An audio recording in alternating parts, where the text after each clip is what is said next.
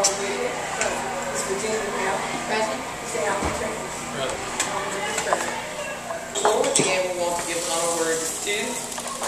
Would everyone please stand and rise? Dr. Will lead us in prayer to bless our food and this event. Let us pray. Most gracious and heavenly Father, Lord, we thank you for this day. We thank you for this assembly, Lord, that has gathered here today for the first annual legislative forum. Allow our minds and our hearts, Lord, to focus on what you've called us here to do. That's for the betterment of our community and the people in which you serve, Lord. And we ask that you will bless the food and allow it to nourish and strengthen our bodies. We honor you, we praise you, and we glorify your name. Together we all say, Amen.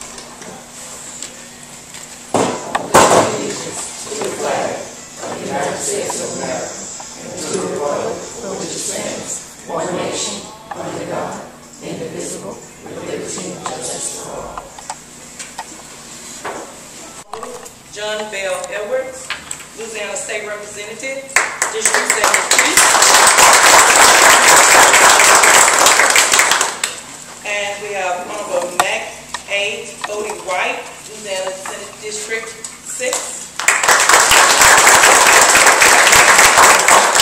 Then we have Honorable Carolyn Hill, Board of Elementary and Secondary Education, District 8.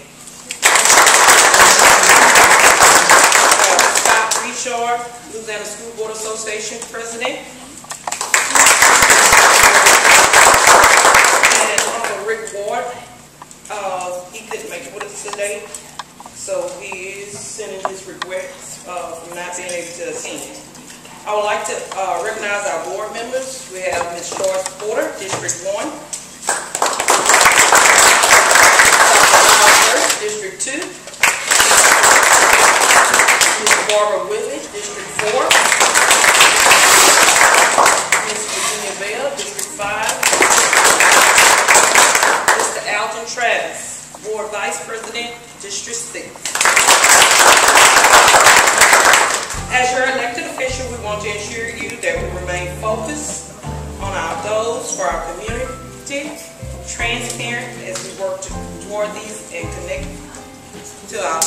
constituents, that we're on the same accord. Um, That is why we're here today, so we can join forces and do whatever it takes for our community and our district to move forward. At this time, I would like to recognize all of our local elected officials and dignitaries with us today. Would you please stand and state your name and the position for which you serve? Elder Cyprian, Clerk Court, Secretary of Parish. Rule breaking four. West Plains Essential. Page Coleman, Police Bureau District Number Five. Herb Jones, I'm the uh, Mayor of Greensburg, but I'm here today in my capacity of Assistant Dean of Commercial Technical. Just East District Four. Um, Just glad to see all of you here today uh, for this event. Once again, this is the first time, and we plan and we look forward to doing this in the future. Um, The LSBA legislative framework seeks to provide a comprehensive focus on significant items that will support local school boards in their effort to ensure that their district have success. San Leonard is in full support of this framework, and I now welcome the president of LSBA, Mr. Scott Richard. So let's give him a warm welcome. Good morning. I am not Scott Richard. I'm Kelly Joseph, proud superintendent of St. Helena Parish School District, and I want to welcome all of our dignitaries here today, and our board members, and all of you here today. Thank you very much for our first uh, legislators forum. We are all very nervous, and we want to make sure that we do everything perfectly so that we can make sure that we build the relationships that we need to build um, from now, from now and in the future. So thank you all very much for coming out. So before I begin, uh, before Scott begins his presentation, I want to spend a moment to thank him for all his hard work as, as LSBA president. Because of his efforts, school boards and superintendents around the state have gained a better understanding of the numerous reforms that have been implemented. We've also developed meaningful relationships with our legislators as we all work together to ensure the students of our great state are provided with a quality educational system that will lead them into their bright futures. The vision of St. Helena Parish School District is to develop a productive school culture that increases student achievement, develops educator effectiveness, and builds public confidence. And we work hard every day to ensure that our vision comes into fruition. St. Helena is growing by leaps and bounds. We've made, we've had our fair share of challenges over the years, but I'm happy to report to you today that we have made significant progress. And you have our progress report in front of you. You take a moment just to look through that and see all of the great works that we've done within our parish. And we will continue to move forward with the help and support of all of our stakeholders. As Ms. Cheney stated earlier, the purpose of our meeting today is to foster positive relationships that will help us have a larger voice for our community. If we stand together with a clear purpose, we can get things done that will promote the community of St. Helena and its interests. So we're very excited about today and the possibilities that this day can bring. So bet on St. Helena because it is a great place to learn and grow. Thank you, Superintendent Joseph, and it is a pleasure to be here this morning. And it says a lot about the community of St. Helena to see such a turnout on a Friday morning. Everybody's busy. There's lots of things happening at this time of the year, especially for our legislators and elected officials to be able to take time out of their busy schedules to come and spend a few minutes talking about our upcoming legislative session and more importantly, recognizing what the power of cooperation and collaboration can bring about in a community. And hopefully we will see this, what this building we're in, the energy, the positive energy that's in this room and in the school as we walk through the school to get here, we can see this replicated in every community, not only in St. Helena, but across our state. And that's, that's our ultimate goal, is to get these type of initiatives that are happening right here at this college and career academy replicated in every community. And St. Helena is to be congratulated for your hard work and bringing the community together in very divisive times that we live in to be able to accomplish what you are sitting in right now and what we're doing right now. So I'd ask that the, the folks from St. Helena give themselves a hand. We're going to jump right into the, the first set of goals and objectives, basically, that's part of this framework.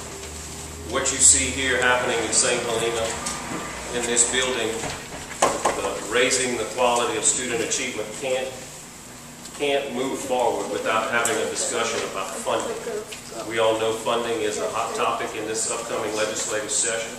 We know the state's facing a huge shortfall, but our main message to our legislators is please continue to make public education a priority in regards to funding. Uh, and the state funding mechanism is called the Minimum Foundation Program. And locals, local parishes, for the most part, not as good as it should be in some places, but this is an example of a local parish doing their very best to come together to fund public education at the local level. But it's not a one-way street. We need assistance from the state to help us provide funding as well. So our goal is to have public education as a priority as the negotiations start in regards to the state budget. The MFP was recommended. Uh, it's, a, it's a formula that determines how much local parishes get.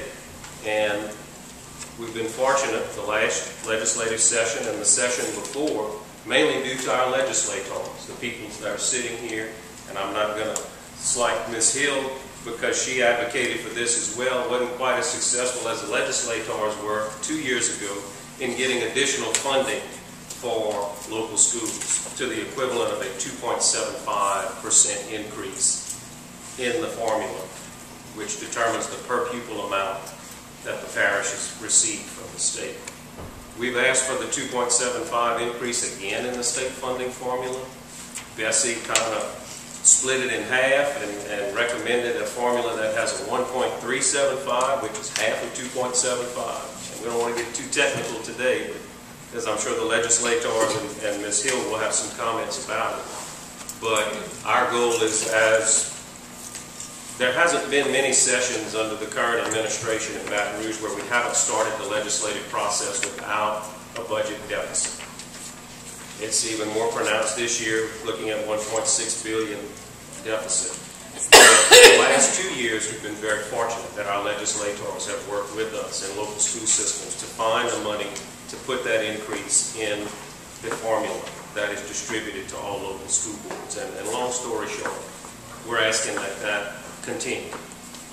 And we want to work together with our legislators to help find solutions to be able to make that continue to be a priority. And try to stop some of the unfunded initiatives that are, that are included that local districts have to provide services for, but there's not a lot of funding attached to it. We want to see increases in career and technical education, especially our most uh, at-risk students, the special ed students, high-risk students, and we need technology upgrades in all of our schools across the state. That, that's a given. We need to move our students into the 21st century, and in order to do that, we have to put technology in their hands at school. Because when they're at home, they have it in their hands, more than we do as adults. And we need to make sure it's part of the learning process in every school, whether it's elementary, middle, or high. Kids and teachers need to be working with technology on a daily basis in the instructional process. So that's, that's pretty much uh, where we are with funding. Of course, our legislators know that we have consistently advocated for additional funding. And maybe this would be a good time for Superintendent Joseph to mention some of the challenges in St. Helena in regards to funding. Thank you, Scott.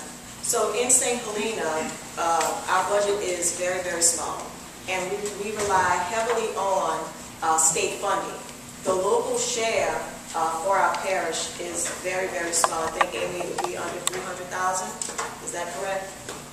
For the local share? Yeah. So we are, uh, we really rely on the uh, MFP to move us forward. Uh, Not having those funds, and you know that there's been, there's been a a freeze on the MFP dollars coming into school, into school districts. And so with that, we still have rising costs with, uh, you know, teacher benefits and retirement. So we have been really working hard to balance our budget under those circumstances. And we've been able to do it. As a matter of fact, we did our last budget revision and we have over $300,000 surplus. Uh, but we still have those expenses, and we cannot continue that track. It is uh, just unsustainable. So we would appreciate if we were able to receive an increase in the MFP. As far as technology is concerned, Scott, you know, talked about that. Uh, we are one of the few school districts in the state that has a one-to-one technology for our students, and that's huge.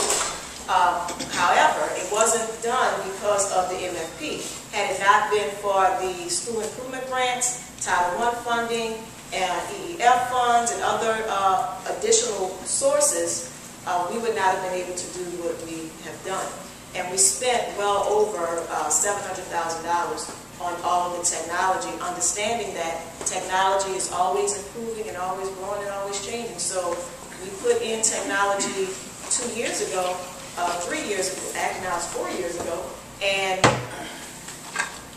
things are So it's a continuous uh, challenge to try to maintain it. And everything is relative. Even though St. Helena is a fairly small district in regards to student population, what may not be a big deal to a very large district is a big deal to St. Helena. So ten, fifteen thousand dollars here or there is crucial to the operations of a system the size of St. Helena. And it may not be a big issue for a St. Tammany or an East Baton Rouge parish, but those dollars do make a difference. And we have several school districts across the state that are struggling for a number of reasons uh, that need the assistance in the state funding formula to keep moving forward as we move to higher standards and more rigorous assessment. The next big topic is public school retirement. I know I'm preaching to the choir to many of you, but we want to make it clear as we travel around the state and and engage stakeholders that the the retirement system for teachers in Louisiana and the school employees retirement system are very sustainable if the normal costs were all what we had to be responsible for as employers, as school boards. The normal costs are actually more efficient than Social Security costs are. It's the unfunded accrued liability, this big chunk of money that, that exists, that hasn't been funded over the years. And we need assistance from the state to help us chop down that huge debt that's out there of the retirement systems. And we were able to do some things last session and the session before, mainly last session, that were very positive to help address the unfunded accrued liability. And we have some instruments that will be hitting, some legislative instruments that we're going to be asking Senator White and Representative Edwards to help us out with that deal with um, privatization and retirees returning to work and and easing some of those restrictions with retirees being able to return to work. Right now, there's a 25% cap on what a retiree can earn when they come back and then their benefits, their retirement benefits are frozen. That's going to be one of the big issues that we uh, advocate for in this upcoming session, to ease those restrictions, to allow more of our valuable retirees to come back into our school systems and help us staff some very hard-to-staff areas and help with the daily operations of school systems. Um, And I'll let Kelly touch on the retirement issue. Just a quick note, the retirement rates will go down this year, but they're, have increased exponentially over the last six to eight years, basically doubled for local school boards. And we've had to eat that cost. And now we're starting to see them come down just a bit, but we've gotta stay in front of it, so it out of hand any more than it is now. Again, So as it relates to St. Helena with the uh, retirement of employees, we do have a big issue with that, as I stated earlier, uh, when I talked, talked about the MFP. But this also ties into our grant fund. So we have a certain amount of money for our grants, so let's say, for example, Title I, we may have about five hundred thousand dollars, but a lot of that money is eaten away through employee uh, salaries and also benefits and retirement. So as the retirement increases, as these other increase, it eats away at our, our grant funds as well as the monies within our um, general fund. most school system budgets, about eighty percent and above, consist of personnel costs because it takes people to run a school system. And we'll be asking our legislators to assist us, and that's part of the MFP ask as well. It, it helps to have additional dollars flowing through the MFP so we can make sure our employees and getting retirees to come back and help us uh, is, is crucial at this point in time. There's not a lot of folks going into public education. There's not a lot of, there's a big need for substitutes, substitute teachers. Districts are struggling with even finding substitute bus drivers as we speak. So we need, we're hoping to get a little bit of relief in this legislative session. We don't want to abuse the issue. It's one of the reasons why the restrictions exist now. Uh, we shouldn't be hiring a a central office full of retired supervisors and directors and, and folks coming back that are at the very highest levels and, and don't give our young folks a chance to move up. That's why the restrictions exist now, for the most part.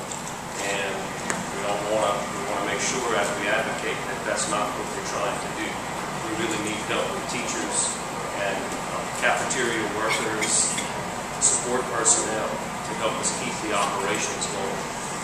The next big topic on the, on the second page is probably the most controversial uh, in, in, in general terms, but from school system employees' perspectives and, and folks that are used to dealing with standards and assessments, it's really not that controversial uh, for us.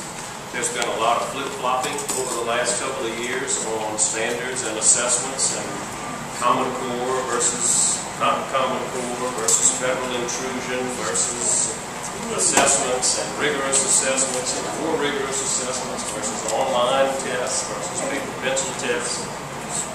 The School Boards Association and school boards and superintendents across the state have tried to be the consistent factor in that discussion. Uh, Long story short, we have two competing initiatives out there in this upcoming session. We have a proposal by the state superintendent to actually review the standards by teams of educators and content experts and possibly tweak the standards, and I would suspect rename those standards from another name to make them applicable to Louisiana. And he is proposing a a request for proposals for new assessments that students take that are aligned to those standards. So that thought. On the other side of the road, we have the governor's office who has proposed basically to do away with Common Core and start the entire process all over again in, in creating standards in Louisiana and determining what assessments would go with those standards. So we have those two competing issues that are out there right now for educators and for our legislators to begin to deliberate on. On the state superintendent's perspective, it's, it's, so, I mentioned the word flip-flop a while ago. Last session, the School Boards Association and superintendents really pushed for something similar, a review process to tweak the standards if they need to be tweaked at various levels and really drill into the actual standards themselves. And the state superintendent was adamantly opposed to that process last year. So fast forward to March 2015, and, and he is pretty much on board with that this, this time around. Um, the governor's office at one time was very much in support of standards and led that initiative, and now has had a total change of heart. So local school districts have spent lots of money and capital and hours and blood and sweat and tears training staff to prepare for higher standards.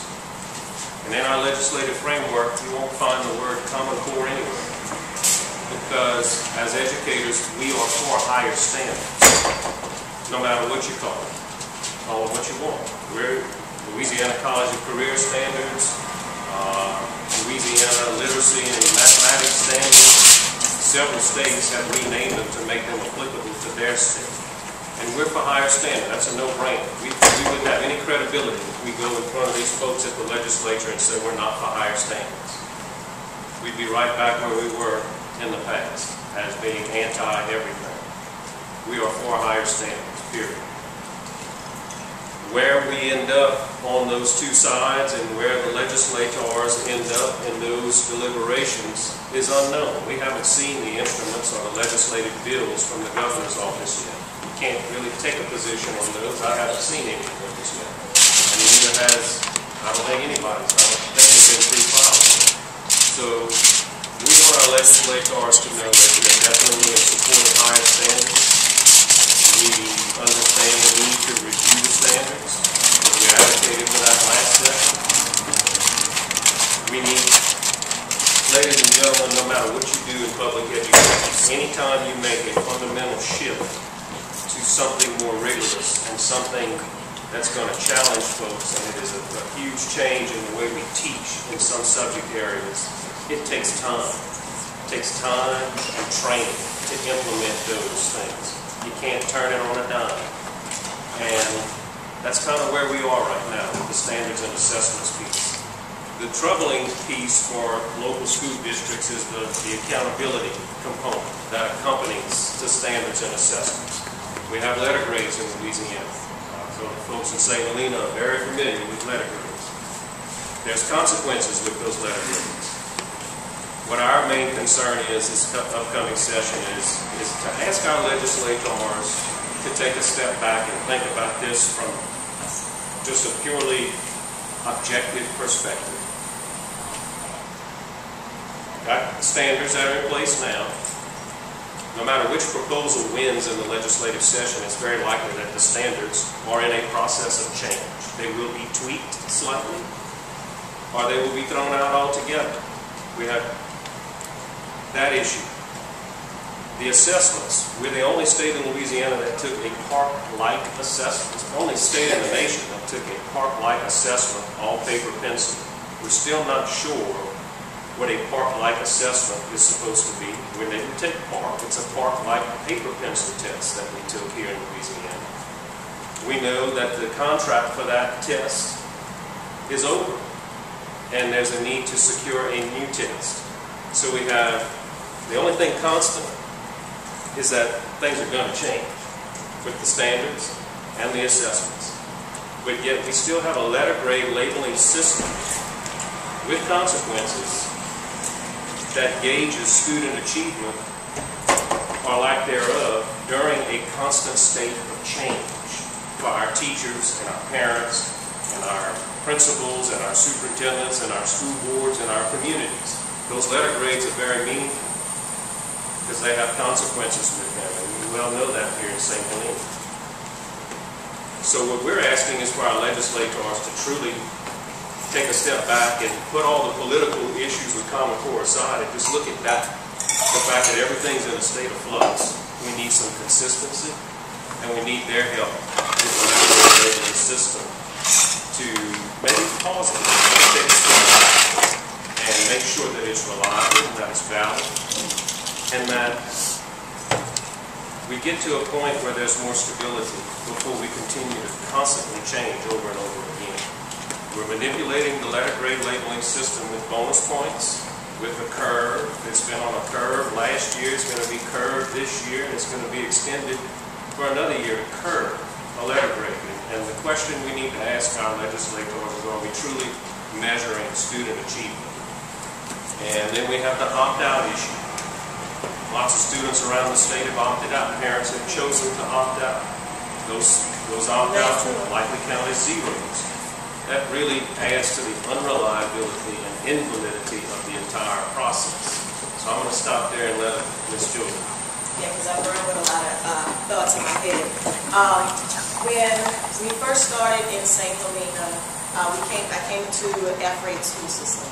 And we worked really hard with our kids to move them forward. And I'm happy to report we are no longer in that school district. We are a D school district. We are not content with being a D. We want to become an A-rated school system within the next five years. Now, had the accountability system remained the same when I first started, because every year it has changed. The accountability system has changed. We could have been probably like a C school district by now. But because the accountability system has changed every single year, we are, we find ourselves doing all of this work and our students are making progress, but it's not reflected in the score. And so the community at large still sees St. Helena as, you know, the lowest performing school district. And that is not the case. When you walk into our classrooms, you see our facilities, and that's here and at our Arts and Technology Academy. You see quality education taking place. You see a safe environment, you see our kids, they are, we have awesome kids. But with the issues that we have to deal with, with the, with the changes in the accountability system, it will give the appearance that we're really not doing much. And that is not all. And I gotta step back a little bit, go back to the MFP. Um, with the inventory tax that the governor is trying to eliminate, when looked at the information in it, uh, for the school system, it is roughly about fifteen thousand dollars. I'm thinking maybe it's probably, that's the minimum amount, but I can tell you that five dollars would have a major impact on our budget. So I'm very concerned about that. I thought about that as I saw our assessor, Mr. Blades, you know, standing there, we need to discuss how the impact of not having an inventory tax will affect our school system and just the community at large, because it will affect the entire community of St. Helena. So the accountability system is, um, is an issue for St. Helena, but nonetheless, with all of the changes, and we are for higher standards. We want our children to excel because they can. We know that they can. But we feel that it needs to be done in a gradual way rather than just all at once because we have still a lot of work to do with our kids uh, to get them where they need to be.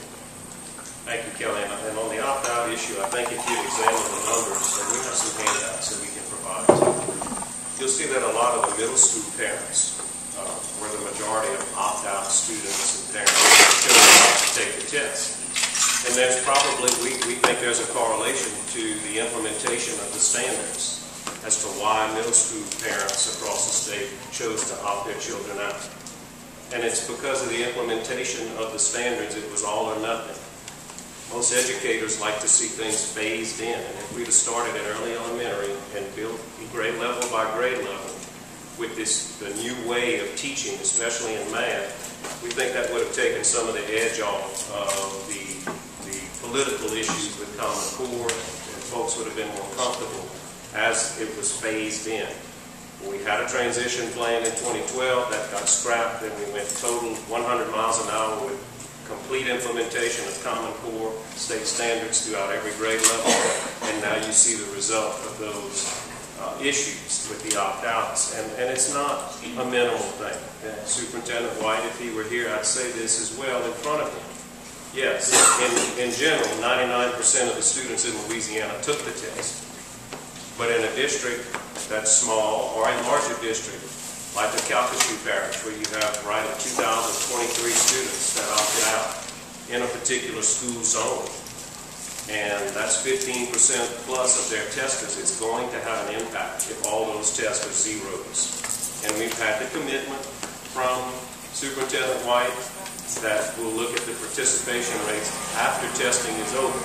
We would have preferred to see it addressed proactively, as Ms. Hill proposed and some of her peers on this, to where that additional pressure wouldn't be on teachers to know that if a kid opts out, that they've worked with all year long, that's going to probably do very well on the test and score mastery in advance and help your scores go up, decided not to take the test.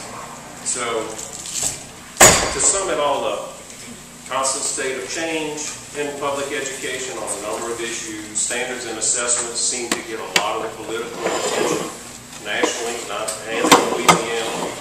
We like the review process being put forth by Superintendent White in general. We still need to get more details. And Superintendent White obviously would like to see PARCC remain as the assessments. We're not so sure about that.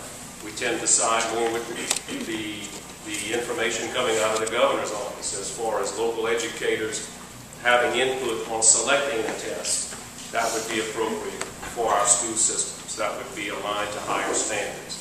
But at the end of the day, we kind of like a little bit of each side, and we need to see more details. The devil is in the details. You've heard that said on a number of issues. That's a worn-out cliche, but it truly is in the details this upcoming legislative session as to which direction to go in and what exact positions school boards and superintendents and educators actually take on these issues. And we need to be part of the process and not frozen out of the process. That kind of catches the accountability piece as well. We need, we know we need more flexibility at the local level with our teacher evaluations and employee evaluations. Um, and before we leave that, uh, in regards to standards and, and assessments, Superintendent Joseph brought up a, a very important matter that's also bubbling around the Capitol in regards to inventory taxes. That is a huge issue for many school districts. For St. Helena, it's, it's a small chunk of money. It's about 15000 that St. Helena would lose out on. But for all the districts uh, together, it's about 170 million in funding, direct funding that goes to local school systems. That would be lost if the inventory tax is not uh, kept in place. We have had lots of discussions with the Municipal Association, the Police Jury Association, the Sheriff's Association, the DA's Association, because it not only affects local school boards, it affects all local government with, that receive dollars from the inventory tax. Legislators, you'll be receiving a package from LSBA in the mail today or tomorrow that will have a summary sheet by parish that we received from the uh, tax commission that, that delineates out how each parish is impacted if the inventory tax is not kept in place or if a substitute funding mechanism is not put in place. And in regards to that, this is a huge issue. It's a very complicated issue. It's all intertwined with the huge budget issues that these gentlemen are going to be dealing with in the coming days. And we're going to have to advocate as school boards and local governments working together to say, please don't just do something on a knee-jerk reaction and take away the inventory taxes without a, a viable substitute for those dollars that districts have come to rely on. On privatization issues, everyone knows school boards have very serious concerns with the funding mechanism for charter schools that are in place. There's lots of litigation out there. Um, The bottom line is that we really have two funding mechanisms in Louisiana. We have eight charter schools that are funded totally by the state, and local dollars are not taken from the local systems and given to those charter schools. And you have about 25 other type 2 charters that are out there where the local district is taking a hit, and their local dollars are being rerouted to those type 2 charter schools. It's causing serious concerns in some areas of the state in regards to pieces of the budget. Uh, The other issue is, for us in regards to privatization, is that if we're going to compete with charter schools, competition is good, then we need to have the same playing field. We need to be on the same playing field. Let's hold them to the same ethics standards, the same financial accounting standards, same reporting standards that are in place for our local school board members that are elected.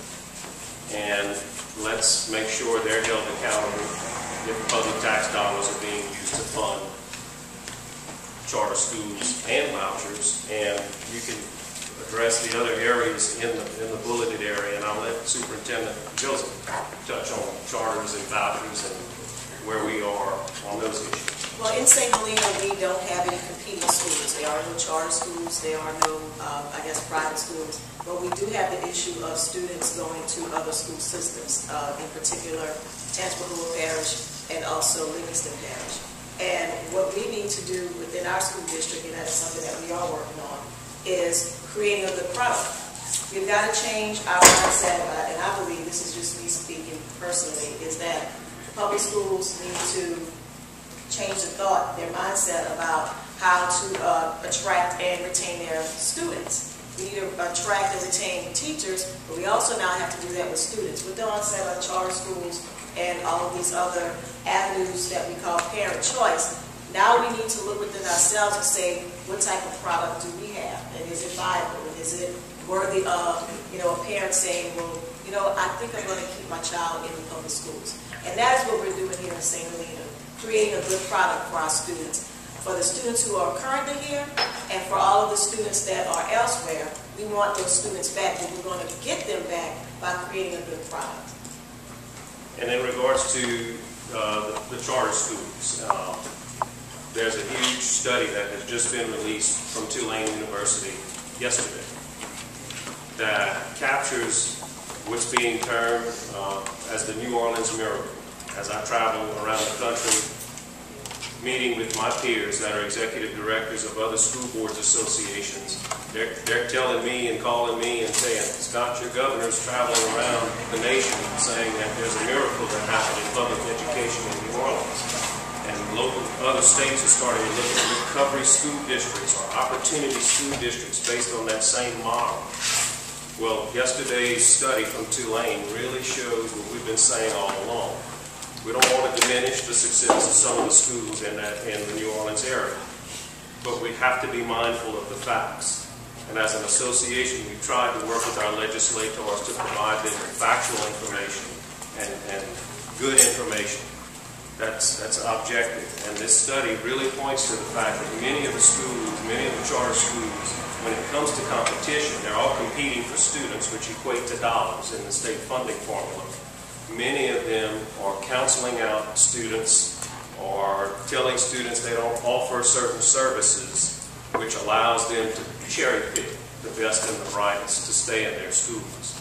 And that study is available. Uh, it's called the Alliance for, for Education study from Tulane University.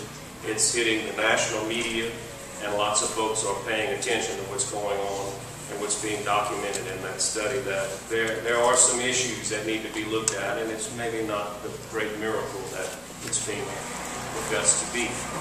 And there's another great study out there that talks about letter grade labeling. There's only 16 states in our nation that utilize A to F grading systems. And that study clearly shows that there are lots of flaws with A to F grading systems, especially at a time when you're moving and changing from standards and assessments, and are you really truly measuring what you want to measure? A Couple of other issues, and I'll, I'll sit down. Uh, Pre-K, we support pre-K, we just can't have it in the MFP. The MFP is already strapped, and that's a very complicated issue. But we definitely support more pre-K slots. Uh, It's, it's research proven to help students, especially at-risk students. Local tax matters, the inventory tax will probably be our biggest challenge this, this upcoming session. Most legislators are beginning to realize that local school boards, by and large, are the vast majority of the sales tax collectors in the state. And it's a function that school board members sometimes often lose sight of, that school boards serve as the tax collectors. We need to be able to look at assessments of big industry and make sure we have the ability to make sure they're being properly assessed in regards to the taxes that they owe to the local government agencies. Recovery School District, we have some issues in, in areas, as you well know, in St. Helena, mainly in EBR and Orleans Parish, where RS, and Caddo, where RSD is very prevalent. They're holding on to some buildings right now, some school buildings, that the local school boards and superintendents would like to have back, so they can do some things in those school buildings. But the RSD continues to hold on to those empty buildings because of a promise to turn those over to some charter authorizers. And we need, we're going to be asking for our legislators to help us get those buildings back to the local school systems so the local school boards can do what they need to do with those various facilities. We could talk for hours and hours. I think I've said enough. Uh, Superintendent Joseph, I'm going to turn it over to you, and maybe we can get some feedback from our elected officials out here. Thank you. What a beautiful day on a beautiful campus with a lot of beautiful people. Uh, It's my pleasure to be here today. Carolyn and Bodie, thank y'all for being here as well. I want to thank these young ladies. We got four ninth graders, one from the fifth ward, one from Montpelier, one from Dennis Mills, and one who wouldn't tell me where she was. But thank y'all very much for listening. And for the delicious meal. I don't know how many fish eaters there are in St. Helena Parish on Fridays during Lent, but I'm one, and I was really worried that they were going to serve some delicious meal that I wasn't going to be able to eat. Uh, But I enjoyed all of that, to include the bread pudding that that I just ate. Uh, Look, school board members, I want to talk to you all for a second. People everywhere are passionate about children, they're passionate about schools, they're passionate about their tax dollars. I have an idea of what it's like to sit as a board and have to vote yes or no on different measures and ask the, the public for support. And I want to thank you for the job that you do, because quite often it's thankless, and when you make progress, it often goes unnoticed. But, but let somebody think you slipped up, and it never goes unnoticed. So I, I want to thank you for what you do each and every day for the children in St. Louis Parish. Uh, I want to also let you all know that your association does a tremendous job on your behalf and on behalf of the children all across the state of Louisiana. I know I've been on, on the education committee for, this will be my eighth year. And I've seen years when the school board association wasn't as strong and as vigorous as it should have been. Um, And one of those years happened to be uh, in 2012. But I can tell you that in 13 and 14, and I'm looking forward to 15 this year, uh, your association is hitting on all cylinders.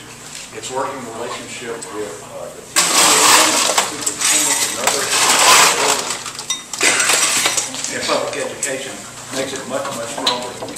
So Janet and and uh, Scott, thank y'all for the job that you do. Uh, I have a very close working relationship uh, with Scott Bouchard. I don't, I don't mind telling you, because I believe in calling upon the experts for information. And I and I don't shy away from that, and so I like to call on him. Uh, There are real challenges real quick, I'll, I'll try to hit a few things and sit down. Uh, we have a one point six billion dollar problem in our budget.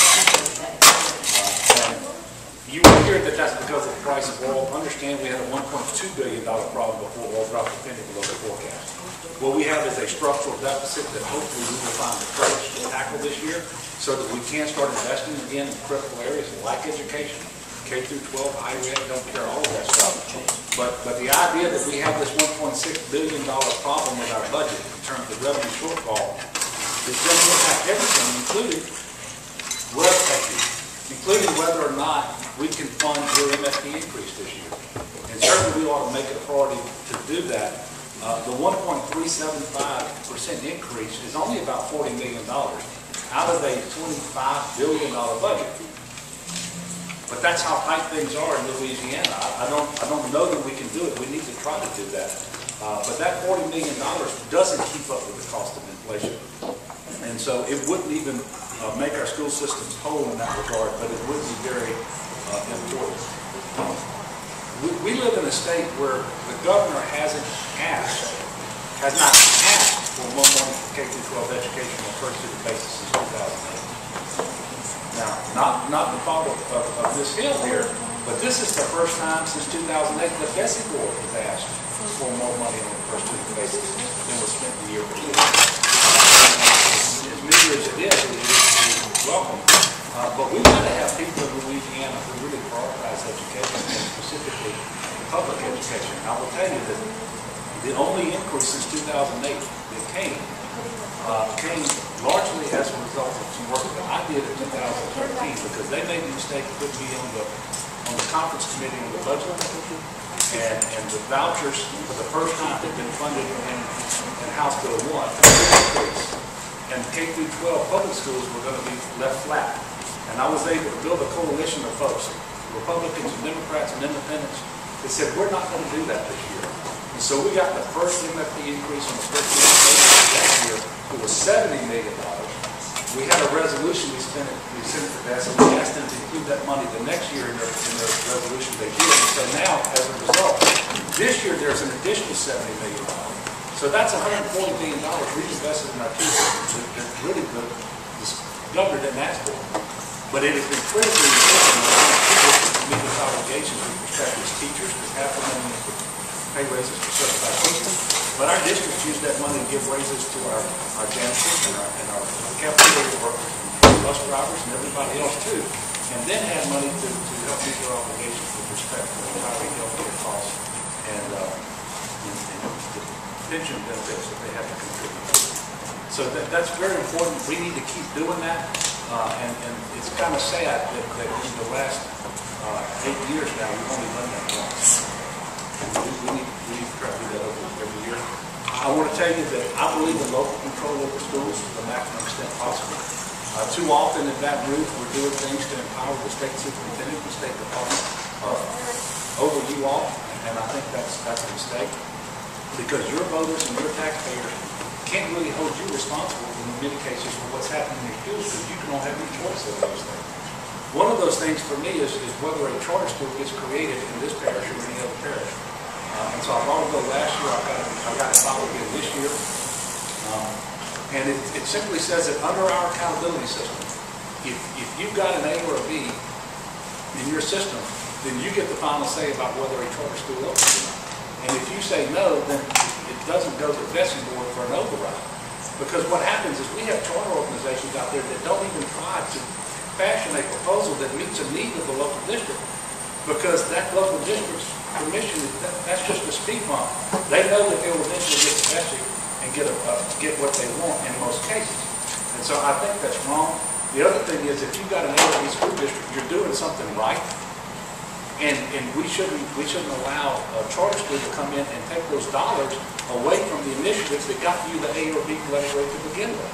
Now, I would like to do C grades as well. Uh, I had that bill last year, I wasn't able to get it passed, so this year I introduced a little bit different, hoping that I can pick up uh, some more support.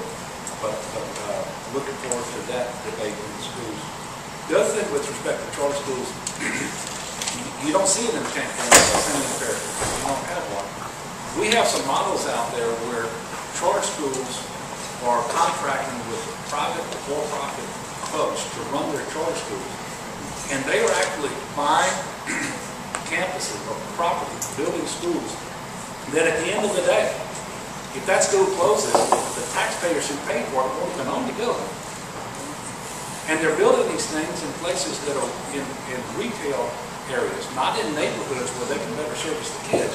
So that at the end of the day, it almost seems to me like it's a real estate venture as opposed to an education venture. Uh, we, we need to do something about that at the legislature and make sure that that doesn't happen.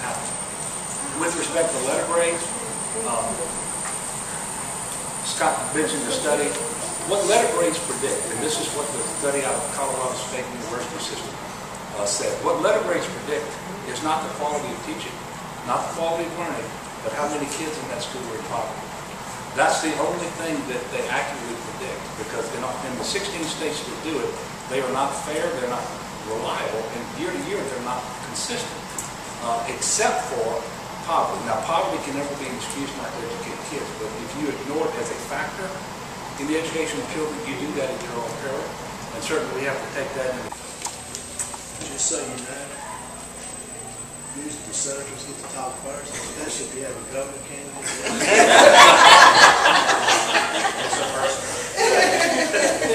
Just thought I'd throw that out. Just kidding. But, uh, anyway, the, uh, a lot of good points today. I know that I served in the House for eight years. Ms. Joseph was asking about my district in the Senate. And I, uh, I told her about my district in the House. In my district in the House, I represented of Zachary, north and north part of Livingston Parish. K through 12 was a huge issue in my district, but it wasn't perceived as much problem when people come into the district and leave. And, and I, I watched, and, and I've only been on education, this is my fourth year. And we have to have so many subject matters that come before us. On commerce, do all the business. Um, on finance, deal with budget, and many matters. On judiciary, C, deal with all the criminal laws. Vice Chair of Homeland Security, and the other boards that we're on. So it's, it's, we have, we have so many different subject matters. Good afternoon. It's a pleasure to be here this afternoon. Thank you, Superintendent Joseph, for your invitation to be here. And of course, I'd like to thank each and every one of you and all workers and board members because I know the work is as a result of board members as well. So thank you and give yourselves a round of applause for the work. Well, as I was sitting here, I was contemplating on what I'm going to say. Mr. Governor Edwards, he, he did an excellent speech, and then Senator Rowland White came up and he, he did a great speech, and I said, wow, this is the best speech. But one of the things that I really want to express to each of you today is that I am a strong advocate for public education. I'm a strong advocate for children, to make sure that children receive a quality education. And as Mr. Bradshaw came up, he, he pointed out some very good um, points in regards to what our state is facing in public education. And I'm just going to do just three. I'll be very short and very brief. But one of the things that, as a BESE member, that I that I advocate for is number one, more community partnership. Because we have to be able to communicate with one another, build those rapport, but not only with the business community, but with our parents, and with our students, and with all stakeholders to be successful. And as a BESE board, one of the things that we have not done great, we have not built those relationships in local school districts. And as a BESE representative, I represent 14 parish, parishes, I'm sorry, and I have visited every one of my parishes. Because I believe that building that relationship with my local school board members and my superintendents and parents and community business leaders is very important to be a strong advocate for our children. So that's one of the things that I'm a strong advocate for as a BESE um, member as well. Another thing that we talked about was the funding. And as I looked at the MFP funding that we received at the last board meeting, and in regards to some of the parishes that will be cut in regards to MFP, um, and some of the parishes that have increased. And one of the things that I've noticed, um, this is this that my rural, smaller parishes always end up getting the least or being cut financially, like Baker, the city of Baker, St. You know, more of rural areas, areas, and those are the areas that need the most resources because of the lack of resources in the area. So I've been a strong advocate for that as well, especially for my small rural uh, areas. At this time, we are going to uh, move into our question and answer session, and we will have uh, Ms. Bell facilitate that. Ms. Bell? Good afternoon, everyone. I'm Jenny Bell, uh, school board member, fifth district, and I'm very proud to be part of this study, part of this group, and part of this district. I'm so happy and thinking about what's going on here. We are, we are making progress. Things are happening in this parish, in this district, in this school district, and I'm very uh, proud to be a part of it. Now, I'm fortunate in that I can see what is happening in St. Helena from two perspectives, I'm the parish administrator and I'm on the school board. So I kind of see what's going on, kind of see what's going on in the parish from the parish's perspective and from the school district's. And I can see that things are happening, good things are happening. So I'm very proud to be a part of it. Now, this really is going to be the section or the portion of the program where you all get to ask questions, comments, and sort of um, your input. Now, you have, there's been a lot of information uh, provided to you today. You've sort of been inundated with information from the school's perspective, from the legislature's perspective, and um, so you had a chance to take it all in. And now what we want to do is hear from you to see if there's anything that you need clarification on from the school board, from our legislators, or from uh, the superintendent. And I'm going to, but wait, Mr. Goldman, I know that we, we're going to get a question from you. But, Let me just say uh, one other thing though, before we start the questions and answer section. Uh, I have worked with these gentlemen as uh, administrator for the parish. They have really helped us and assisted St. Helena with some projects that we've asked, asked them to help us with. Right now, we have two major projects that thanks to them, St. Helena is about to start on. We're about to start designing a library. And we, that is something we desperately need here in the parish. And that's thanks to them that we have those funds available to start on that project. We're about to start on a baseball court in the fifth district where we have a park down in the lower part of the parish. And it's thanks to these gentlemen that we have those fundings through capital outlay. So let's just give them a round of applause we appreciate it very much. Um, so, Mr. Garvin, we're going to go ahead and take your question uh, first. Well, I just wanted to, to- well, I, I thank everybody, I wanted to add, when you talk about, we talk, about I'll be next. When you talk about accountability, just want to share with you, and the get, get hard. Uh, I, I'm for, you know, accountability, but, uh, I hate that, that, that my child carries, uh, a whole point or more every time he takes a test. In other words, if you look at a child in uh, St. Tammany or New Orleans or, or EBR, that child is zero point zero zero zero zero the weight that that child carries. In a small district, if you're going to have accountability, in order for it to be fair, there has to be some type of measure that will make a child the same, no matter where he finds himself.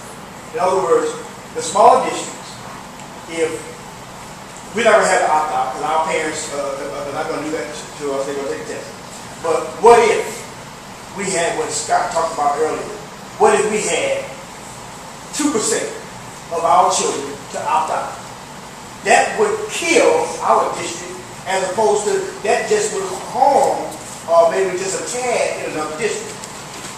When we talk about accountability, if we leave the point out that every child equal, we must find some kind of curve to equalize every child. We can't have it where a child in San Luis carries one or more points as an individual. It's just not fair for my child, and I'm I'm speaking now just not- It has to be looked at, and we have to be judged on a child being equal no matter where he finds himself. And that's not happening with the small district, especially a district with uh, the amount of kids we have in Thank you, Mr. Gall. That point is well taken, and that is a burden. I can see it being a burden on the parents as well as a burden on that child. It really is. And now, where that will be addressed, um, you know, if anyone wants to speak to that point, um, you're you're welcome to, but it is, it is It's a a point hard- well taken. And- And, it's right, it's, it's, it's not an easy thing to overcome, and we thank you for pointing that out to us. And I'm sure that it it is, um, it is well taken. Anyone else? Any other points or comments? Y'all can't be that easy on us. Y'all cannot be. You're not gonna get them, y'all, come on now.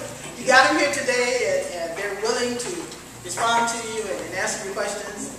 Uh, Mr. Coleman, uh, come on, I know you got something. uh, They answered my question. Oh, did they? Oh, yeah, they answered mine. Okay. What?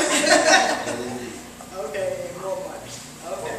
I, I want to make one more comment on the, on the, um, inventory tax. It is a huge expense to the state and we're us reimbursing that to the locals. And that was a, that was a fix that they did long before John Bel and I went over there when they, they had an inventory tax. It was a small tax that started out originally around the state. It was a small tax of inventory. And it's grown to four hundred million. Back probably fifteen to twenty years ago, the legislature said, okay, it is an unfair to make a car dealer pay tax on that vehicle sitting in his lot that he don't own, he's just owning it, and if he sells it, you know, buyer will pay s- sales tax and all on their property. Um, Or a gallon of oil sitting in the tank somewhere, uh, refinery, so I don't think it's a good tax, I really don't. But we've been able to, the state reimburse those companies, the locals, they, they get the dollars as a property tax. The state reimburses the companies for the tax, so it's an offset to the company. A program that really didn't have any conscience, because, you know, the companies didn't fuss a lot, but the local governments, whether it be school boards or local parish governments or cities, they were able to get the, their property tax to help run their cities or school boards, and it kept going up and up and up. As an offset to that, I think the legislature, no matter what you think, we try to, we try to, we try to be fair and try to work things out, and we have different views, but at the end of the day, we try to, try to get some bills introduced to see how we're gonna fix this one point six billion dollar hole. You're gonna see a lot of, and I have that. I probably have one of five or six, just as an instrument. But I, it's a phase out, what I thought we would phase out, and during those years, we figure out how to backfill the locals.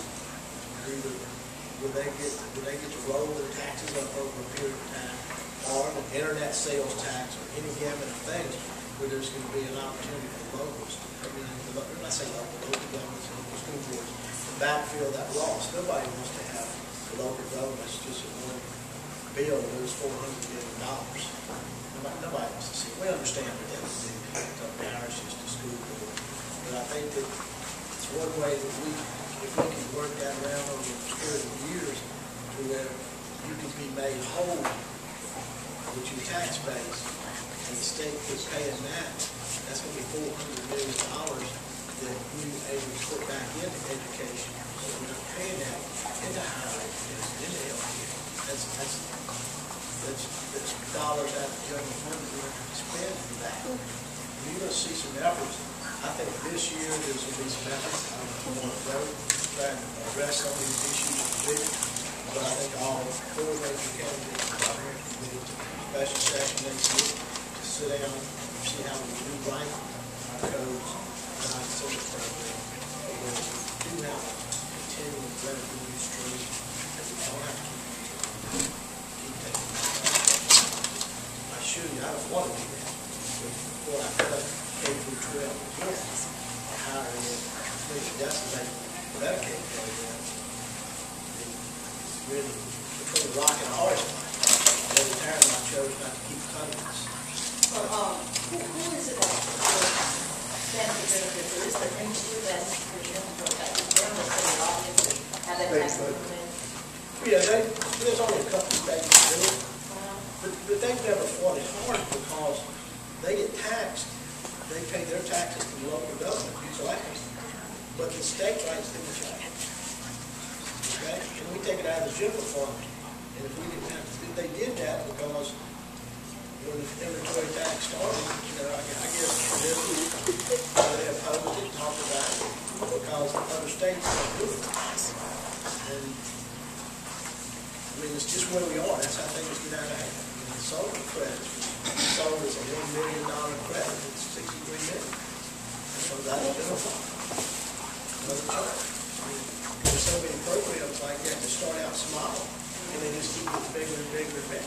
Senator White, uh, did you know that thing was phased in over a five-year period when it was, twenty percent a year for five years? No, I, I That's, that's back, you knew that. Well, and, and Tony makes a great point. There's so many things at play here. One of the things is, those parishes that most rely on the inventory tax, we're talking about St. John, St. James, St. Charles, St. Bernard, all the St. parishes except for St. Helena.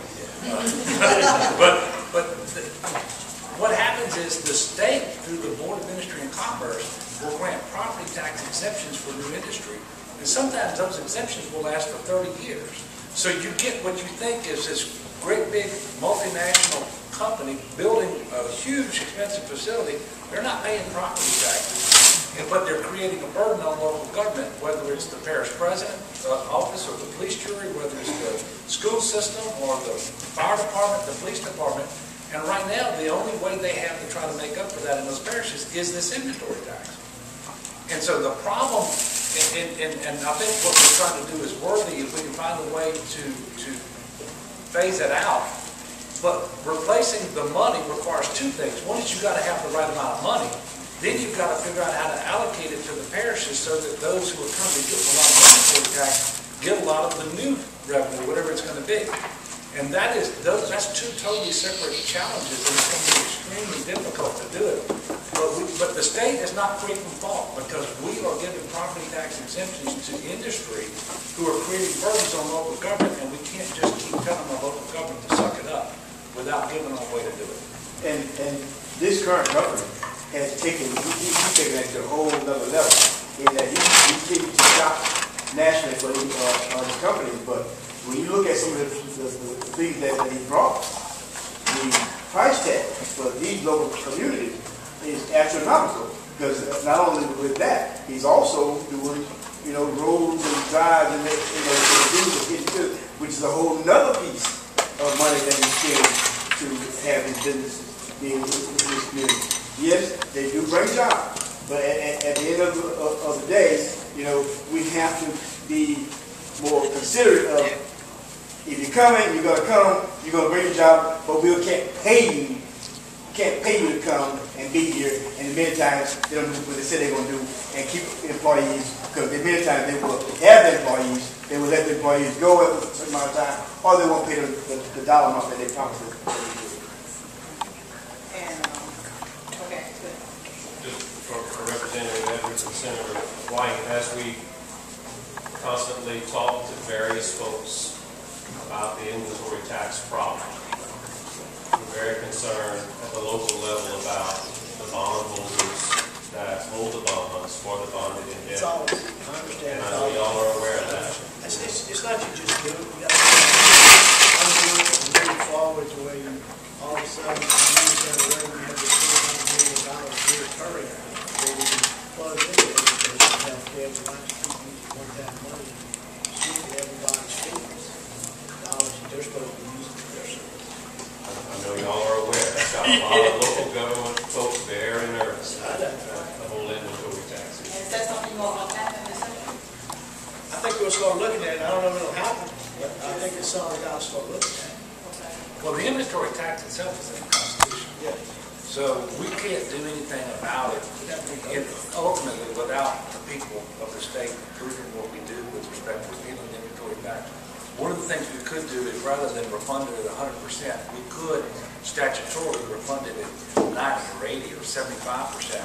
So that the, the same amount of money goes to the local government, but well, theoretically, goes to the local government, but the parish, rather than paying it dollar for dollar back to the taxpayer, could pay it at a lesser percentage. Then the taxpayers are saying, if you do that, though, we're just gonna get rid of the inventory, so, so that it won't be on hand, and, and then you would actually have a, a decline in the local revenue. And so, there, there are so, it's like the octopus that, that has all, eight, you students, it's eight, eight tentacles around it, and you can't, you can't get off of it. I mean, it's, it- it's, it's a tough issue.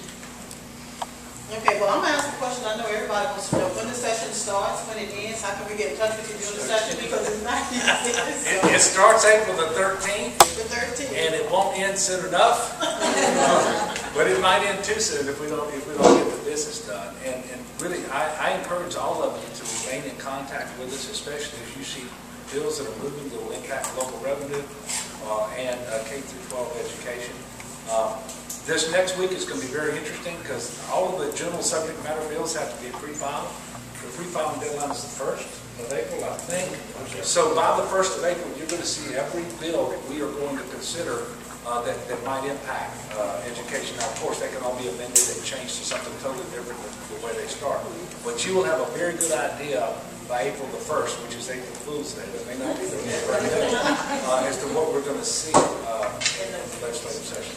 Well, we know that we're gonna be getting emails from Mr. Scott over here. We, the school boards will not miss it, so we know that we're gonna know all the bills that's coming up in a timely manner so that we can take action. And so, we appreciate you doing that. I mean, it's a lot of information sometimes to read, but at least we get it. So we, we we appreciate that. It's time for us to do something about Time to clear out all those old ones. it. Yes, at least all the old ones and get ready for the new ones. All right. Um, And I just want to say, you know, from the Texas Community College, I want to thank the legislators, because I know for dual enrollment, you know, for one time it was really, really good for us.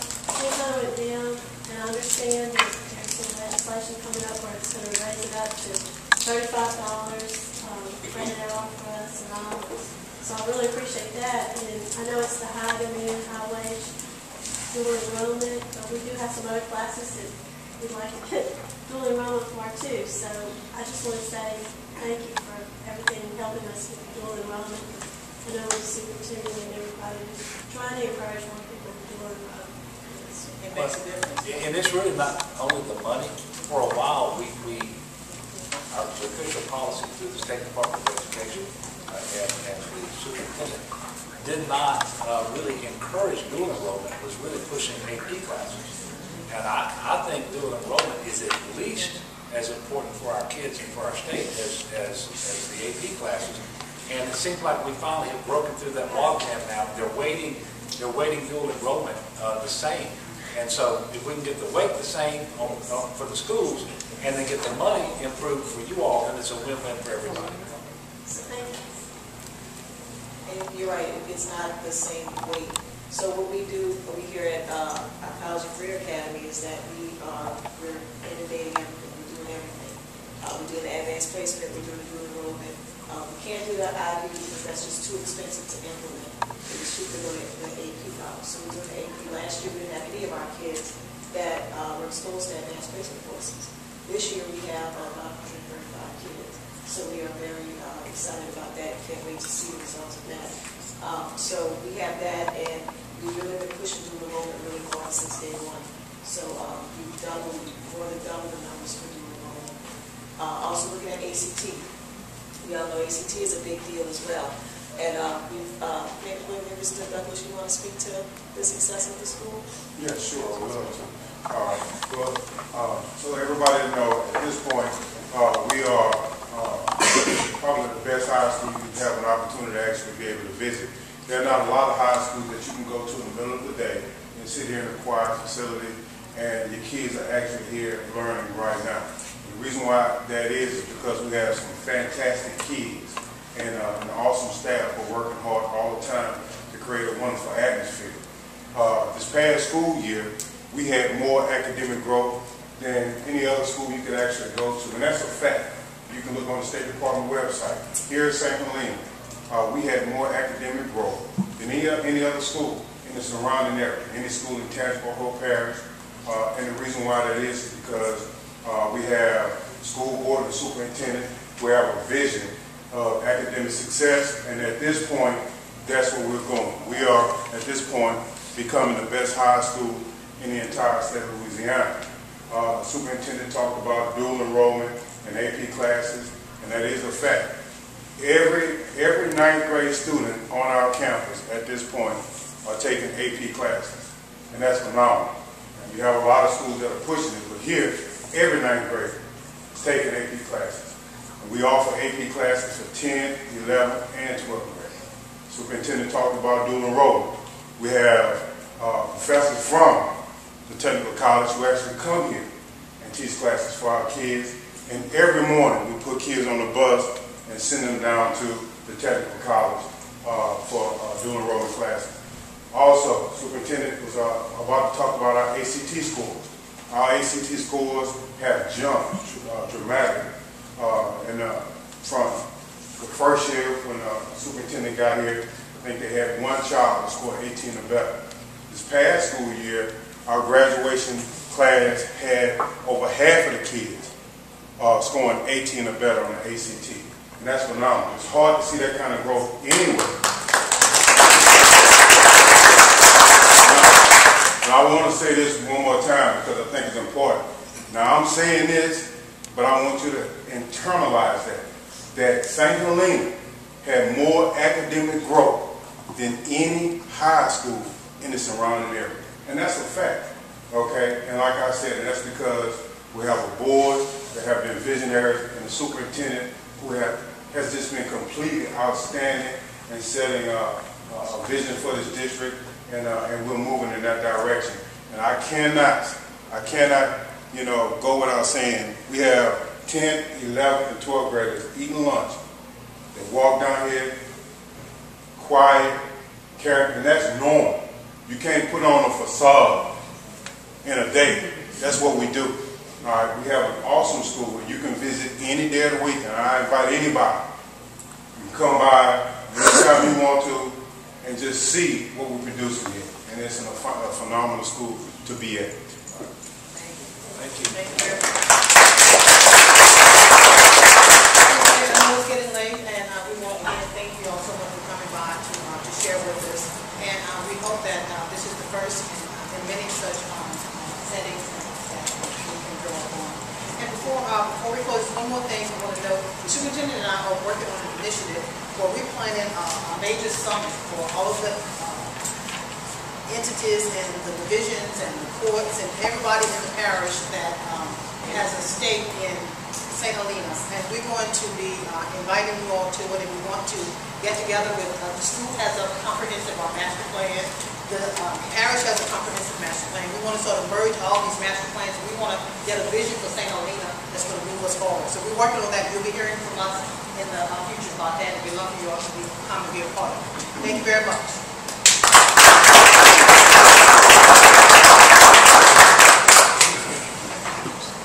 This concludes our event for today, but I would just like to say there's definitely a lot of work ahead of us, and if we work together and be transparent in doing that, we will have great success.